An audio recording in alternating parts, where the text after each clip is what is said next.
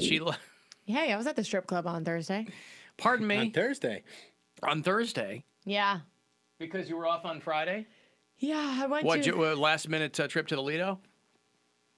Um, we went to. We did not. We should have. We did not. We went to. Uh, we were at Music Box, which, by the way, I've never, Not a strip club, by the way. I might add. I know. All right. We went there first for the PechaKucha event. Um, it's like a like a bunch of people speak and they have slides, and our friend was speaking at it, so we went to that. And Christie's is right across the street from Music Box, and uh, They also have their own different PechaKucha event. they over certainly do. Yeah.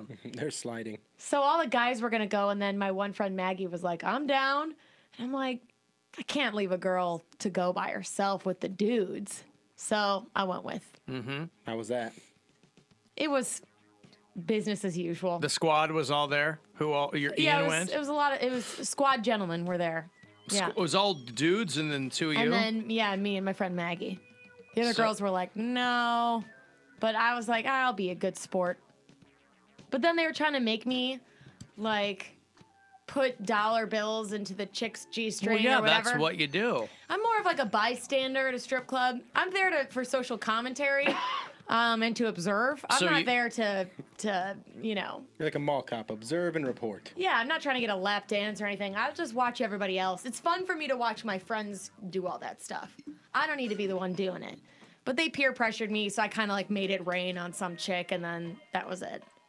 They peer pressured you into making it rain. Yeah. And how did you do that? You got a handful of ones and flicked it at her, My friend got out a hundred dollars worth of ones, right? Put the stack on the table. I- Use the ATM. Yep. Sixteen dollar and seventy five cent service fee. You know Worth it. every Yep, penny. That's right. Then he just divvied up the dollars and then he handed me a stack and was like, Come on, just go, just go. I'm like, If you'll leave me alone, then I'll go do something.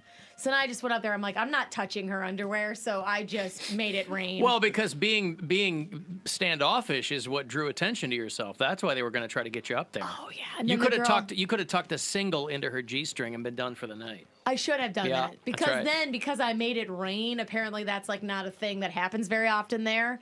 Um, so she came over Especially to the a Thursday. table. On a Thursday, Yeah. right? She came over to the table after and was like trying to talk to me. I'm like, I, I don't know what to say to you. You're a very nice person. You're very pretty, but I'm not. I'm not a part of this. I'm just here to watch. Wow, you're so prudish at the strip club. Why do you? You should have just dove right in. It's not that. It's just not my thing. It's not my don't thing either. But when I go, I have a good time. Like I just feel sorry for them. I'm like, Why? They're working hard. like I'll, you know, I'll pay you a hundred dollars if you p- put your clothes back on. You feel sorry for them. I feel bad. They're making money. They're working hard. There are women they don't know making it rain all over 'em. I know it's their choice to do that and everything, but I just I feel I can't help but feel bad, and I can't help but wonder like, you know, maybe they're gonna get their big break and they don't have to strip anymore or whatever. Break. This is their big break. Any of them have C-section scars? That's always I like Actually, that for a Thursday night lineup.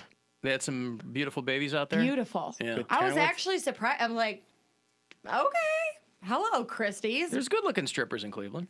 Oh yeah, these lot of girls. The one girl that came over to talk to me that I made it rain on, she was like, she could be a model, Right, an but- actual fashion model. but- like, why don't you do that? But then that's why, if it was an Uggo, I'd understand what you're talking about. But why didn't you like take advantage of you have a beautiful woman in front of you? yeah, I'm just not gay at all. Who's what? I like You're I, gay if you put a dollar bill No. in a. I didn't say that, but I'm not trying to. I didn't. I didn't mean her leave a snail trail on your cheek. I meant like you know, know. just get a little whatever. And you didn't have Really? a motorboat or anything like that. You just Well, the last time I was Throw. there, what do you? they What are you guys me. always doing? You guys are always putting everything on Instagram. Put it on Instagram. Here's Eric again, a lap dance. Ha ha ha. You know, you would have gotten a million views on that. Yeah, but uh, I don't. It's just not for me. I don't know. I get. I get what they're there to do, and I get why people like to go. It's just not my thing. No, but I'm saying if you're there, why stand in a corner? I didn't. I was sitting at the table near She the made it stage. rain.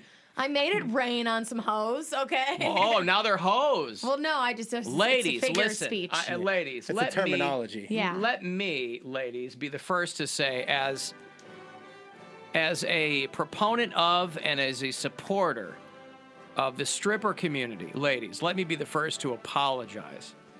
This program is pro stripper. In no way do the opinions of my cohort here in referring to you as hose. No, H O S E. She was wearing nylons. All right, fine. I will accept that. I made it rain all over those hoes. You know what? I can't argue because I Just don't know. Just a bunch know of garden equipment there. That's right. Uh huh.